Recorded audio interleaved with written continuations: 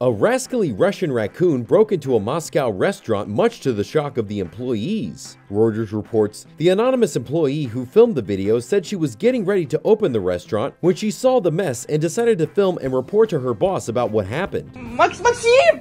The raccoon can be seen climbing on parts of the restaurant and on tables, even helping itself to some cookies. The restaurant theorizes the animal is someone's pet and even put out the call for the owner to come and claim it, going on to say the animal is at a vet clinic and would stay there until the owner arrives.